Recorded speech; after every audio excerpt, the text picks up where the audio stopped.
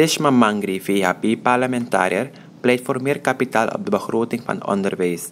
Dit vroeg ze afgelopen dinsdag in het parlement tijdens de begrotingsbehandeling.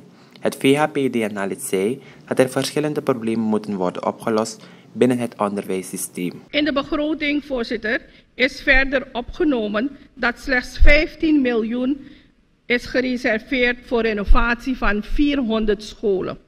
Voorzitter, met dit bedrag zou je hooguit 10 tot 15 scholen kunnen renoveren. Vanuit deze plek pleit ik ervoor dat er meer geld komt op de begroting van onderwijs. Een aantal collega's hier hebben aangegeven hoe belangrijk het onderwijs is.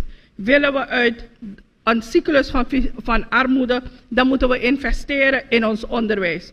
Voorzitter, ik pleit voor tenminste 100 miljoen extra op de begroting van onderwijs om al deze problemen op te lossen. U heeft gisteren ook geluisterd naar collega parlementariër Wakkie, die heeft aangegeven hoe het gesteld is met het onderwijs in het binnenland.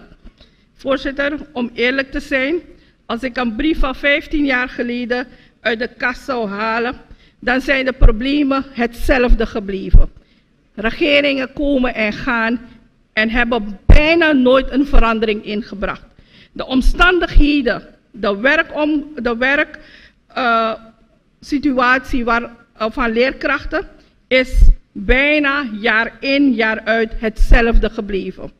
Ze moeten het altijd doen met blikjes waar, slechte communicatie, geen randvoorwaarden die in place zijn gebracht, dat het aantrekkelijk wordt dat leerkrachten naar het binnenland gaan om les te geven. Voorzitter, vanuit deze plek vraag ik de regering aandacht voor de werkomstandigheden van deze leerkrachten in het binnenland. Sinds jaar en dag wordt er gepleit voor betere omstandigheden, werkomstandigheden van leerkrachten. En ik ben ervan overtuigd dat tenminste met de regering Santoki Brunswijk er een goede stap wordt gedaan in die richting.